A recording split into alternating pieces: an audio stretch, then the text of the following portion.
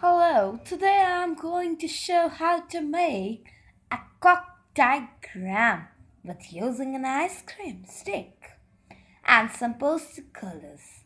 Follow the given pictures and the directions given in the page to draw the same as I have drawn. Thank you.